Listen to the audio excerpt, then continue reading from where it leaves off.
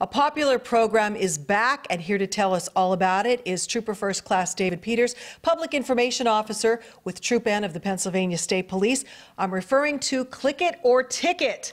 That's a well-known program with a catchy name, but it has some serious consequences. Sure, yeah, it's a national program that's actually adopted by the uh, National Highway Traffic Safety Association, and it's really about increasing the awareness of using seatbelt.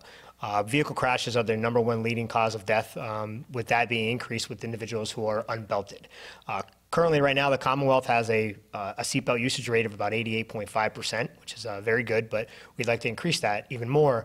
Um, so by increasing that, we will keep people's lives uh, from being in danger from being unbelted.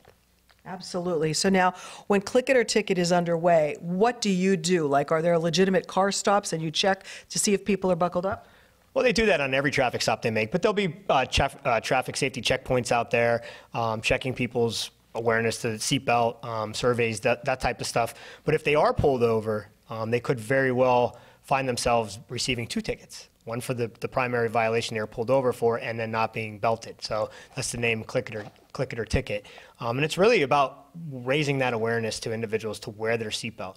We do understand people don't like it, it, it gets in their way, but it's designed to keep them safe. And uh, I forbid there's ever a crash, not being belted, they're going to move about that vehicle at the same speed their vehicle was, um, which can cause serious injury to them. Now, obviously, you want the driver buckled up, but the people who are in the vehicle as well need to, especially young children, and they need to be in a proper seat as well. Yes, uh, another uh, thing is their child safety seats. Children under the age of eight years old should be in a child safety seat, and that's another thing that we do during Click It or Ticket is we offer free community clinics. They, they go on all year, but again, there's a lot more that seems to, to, be during this campaign.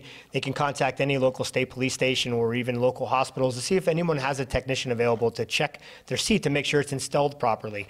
Um, believe it or not, it's a, it's a, training that takes four days to become a car seat technician to understand the different seat belts and uh, variations within different types of vehicle year-wise. And you want to make sure it's very snug and tight, that it can't be moved moved uh, an inch either way. And I don't mean it can't be moved at all, but it can't be moved more than an inch uh, left or right. And, and, in Pennsylvania, it's a law to have your child rear facing to the age of two.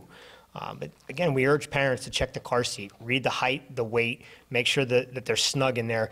That unit acts as that child's seatbelt for that time uh, during that time of their life. So it's very important that it's installed properly. I was confident when my children were younger that our seat was in. My husband put it in super tight, pushed on it, you know, did everything. So I went to a state police check uh, thing to get it checked. And they took it out and they redid it. And when I saw what they went through, like they crawled in and out of the car, like practically throwing their backs out of whack to get at it. But then that thing did not move at all. So you might think you have it in right, like we did, but we didn't. Absolutely. I mean, and most people don't realize once you get it in there, your, your child gains weight, they grow taller. Um, the weather changes here in the season, so you have heavy, heavy clothing on. So what you think is snug isn't necessarily snug. Mm-hmm. Um, and again, you're not trying to hurt the child, but again, that is the seat belt for that child. So it's very important that the seat isn't moving and that the child isn't moving within that seat. If people need this important information, uh, maybe they're not aware of what the laws are. Where's the best place they should go for the latest information? They can contact the State Police Barracks. They can go on the Pennsylvania State Police website during Click It or Ticket. Uh, all child safety uh, community events that are out there are posted on their uh, website, letting people know where they can go to get a free car seat check. I mean, we're always free. They can call the stations and make an appointment. Myself or Trooper Petrosky um, and some other car seat techs that we have at Hazleton would be glad to help them out.